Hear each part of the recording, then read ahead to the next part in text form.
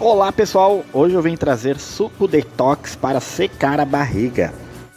Primeiramente vocês vão descascar todos esses ingredientes que eu vou falar, que é duas maçãs, duas laranjas, uma cenoura, duas folhas de couve e um pedaço de gengibre.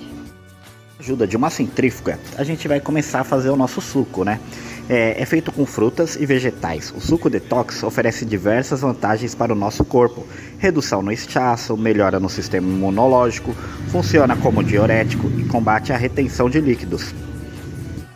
Melhora o sistema digestivo, hidratação da pele, aumento da disposição.